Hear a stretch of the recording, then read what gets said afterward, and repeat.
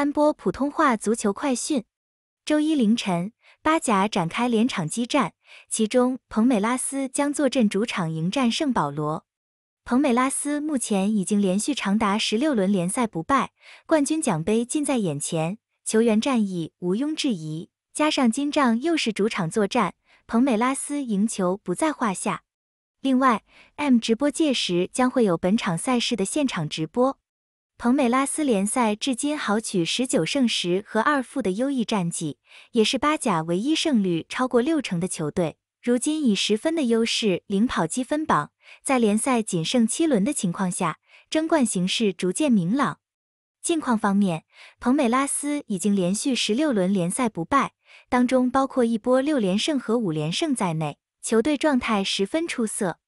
美中不足的是，彭美拉斯上轮联赛在取得领先的情况下，未能将优势转化为胜势，最终导致此前一波联赛五连胜戛然而止。二巴宝沙无疑是彭美拉斯锋线上最重要的得分好手，他至今攻入十个联赛入球，个人在巴甲神射手榜上也是名列前茅。而且在二巴宝沙取得入球的联赛中，彭美拉斯从未输过。金帐主场出击。二巴宝沙有望再次帮助球队再添三分。阵容方面，后卫亨利山杜士，中场查陈扎扎和拉斐尔维加皆因伤缺阵。另一边厢，圣保罗目前的巴甲战绩为九胜十三和八负，整体表现十分平庸，在志在重夺巴甲桂冠的彭美拉斯面前根本不值一提。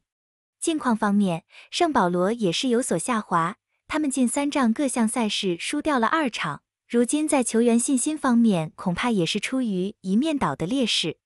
另外，圣保罗近四次面对彭美拉斯，同样输掉了三场，当中两次主场均没，还总共被对方六次洞穿了球门。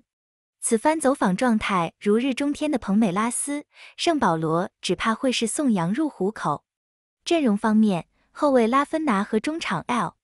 宾西路均被罚停赛，中场尼卡奥和前锋卡奥马迪西斯等人则因伤倦勤。感谢你收听安波普通话足球快讯，感谢你的支持并订阅我们的频道。